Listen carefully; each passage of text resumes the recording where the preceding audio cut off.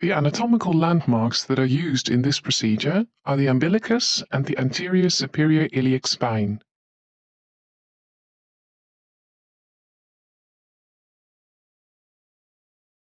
The skin incision is made obliquely in the Langer skin lines at McBurney's point, two-thirds of the way from the umbilicus to the anterior superior iliac spine. The incision is approximately 5 centimeters long. For cosmetic reasons, a more lower and lateral incision can be made. Retract the skin with sharp retractors.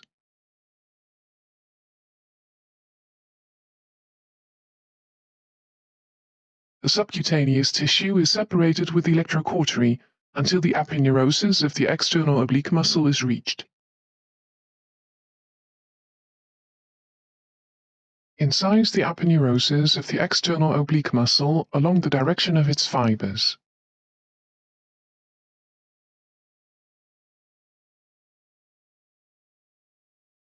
The subcutis,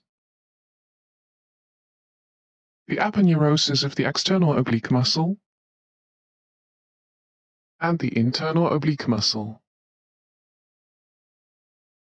Split the internal oblique muscle and the underlying transverse abdominal muscle along its fibers with two dissection forceps.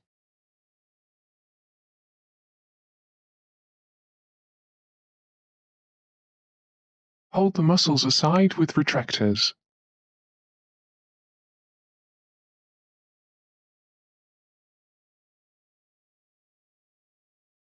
Peritoneum with overlying peritoneal fat. Lift the peritoneum with the forceps and postpone cutting the peritoneum until the silver sign is seen.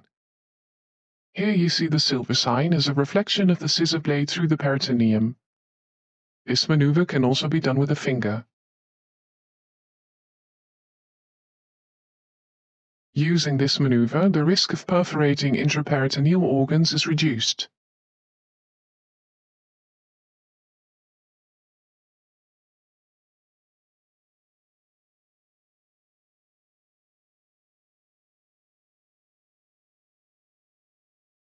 The cecum is pulled carefully through the lower abdominal muscle splitting incision.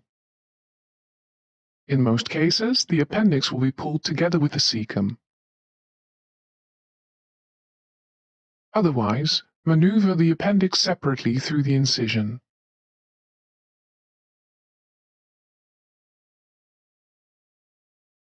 Sometimes mobilization of the cecum or adhesiolysis is needed for adequate exposure. For educational purposes, the abdominal wall will be removed now. In an overview, the cecum with the terminal ileum are visible. When these are lifted, the appendix becomes visible as well. The terminal ileum, the cecum, and the appendix.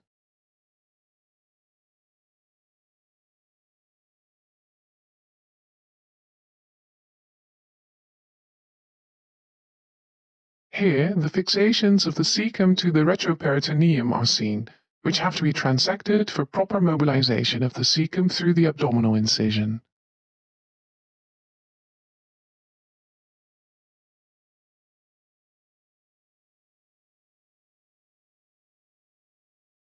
The mesoappendix with the appendicular artery is pointed out.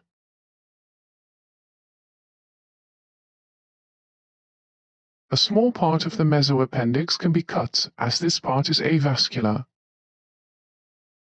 At the base of the appendix, a small hole is made inside the mesoappendix. A useful tip is to place a forceps through this hole.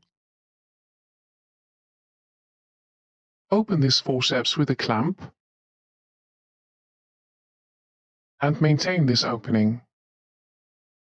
The clamp can now be placed over the mesoappendix, precisely at the right place. The mesoappendix is cut with scissors and a ligature is placed over the mesentery. As the appendicular artery is a terminal branch, one clamp can be placed. Before continuing to the removal of the appendix.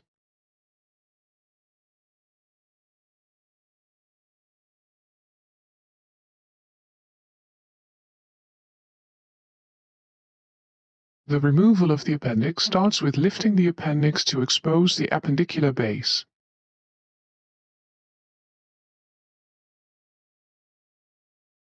An extra cut is placed to completely skeletonize the base of the appendix. Two clamps are placed at the base of the appendix.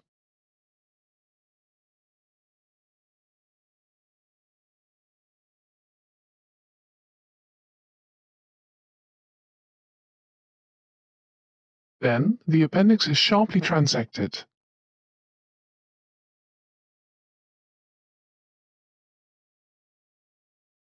A ligature is placed over the remaining appendicular stump.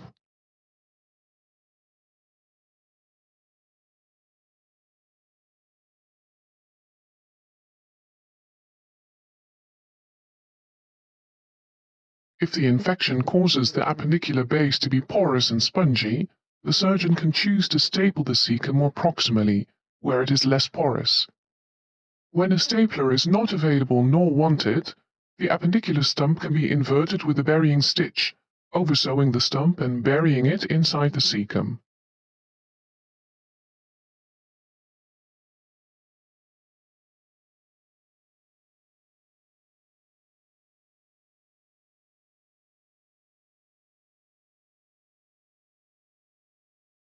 Assistants can facilitate during the technique by pressing down the stump toward the cecum.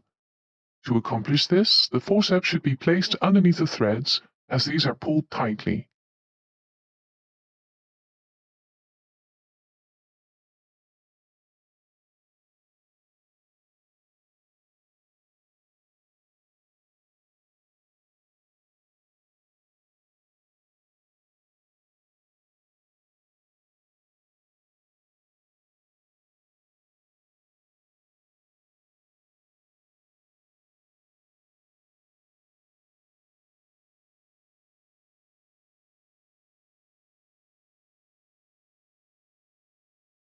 Prior to closure, the wound is irrigated with normal saline and hemostasis is secured. Reposition the cecum into the abdominal cavity.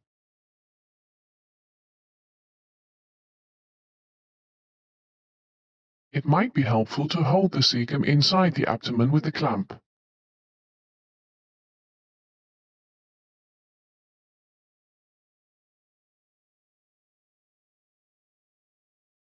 Now the peritoneum is closed with a running suture.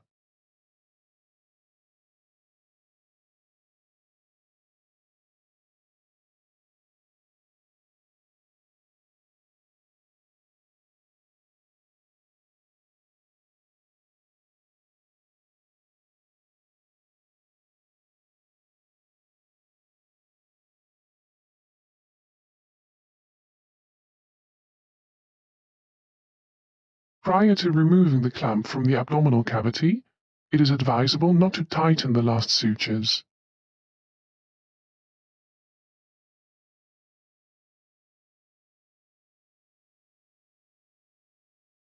The clamp can then be removed while pulling the thread. In this manner, the cecum is held inside the abdomen.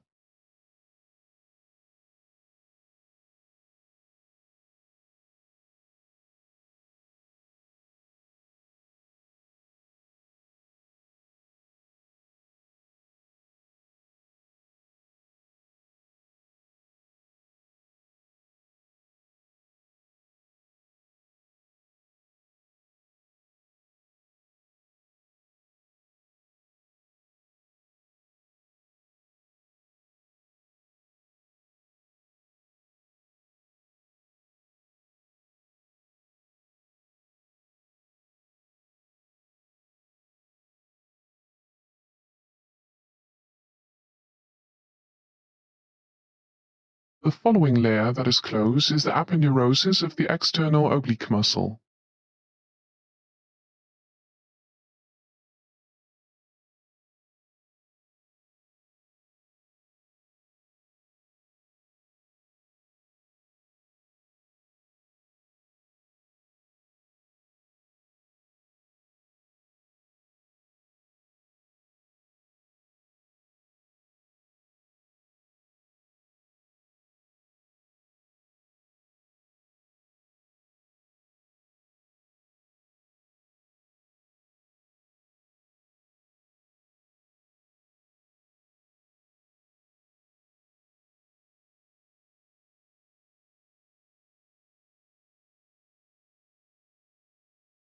If the area was severely contaminated, the skin can be closed with a few standing sutures, which is shown here.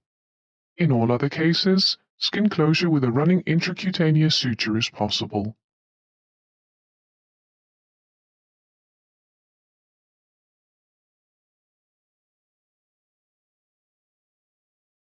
إذا نال الفيديو إعجابك لا تنسى الاشتراك والضغط على زر لايك ومشاهدة الفيديوهات السابقة في القناة